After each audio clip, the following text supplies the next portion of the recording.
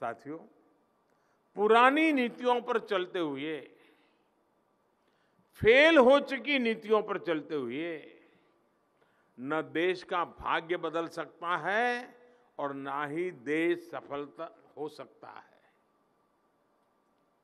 पहले की सरकारें किस अप्रोच के साथ काम कर रही थी, आज हम किस सोच के साथ काम कर रहे हैं, ये समझना बहुत ज़रूरी है। गरीबों के लिए आवास देने की योजनाएँ हमारे देश में लंबे समय से चल रही थी। लेकिन 10-12 साल पहले के आंकड़े कहते थे कि हमारे गाँवों के लगभग 75 प्रतिशत 75 परसेंट परिवार ऐसे थे जिनके घर में पक्का शौचालय नहीं था। गरीबों के घर की योजनाएँ पहले चल रही थी, उनमें भी इस पर ध्यान नहीं दिया जाता था।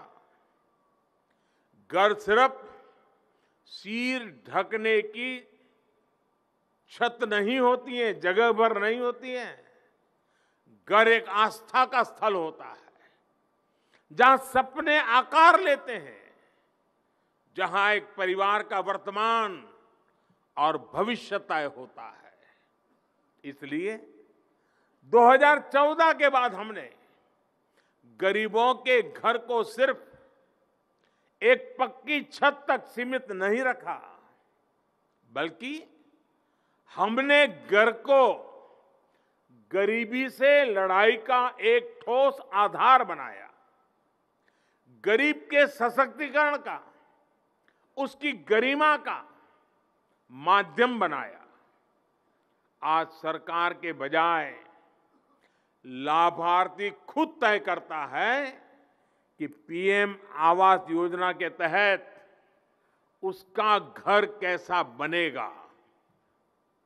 ये दिल्ली से तय नहीं होता है, गांधीनगर से तय नहीं होता है, खुद तय करता है।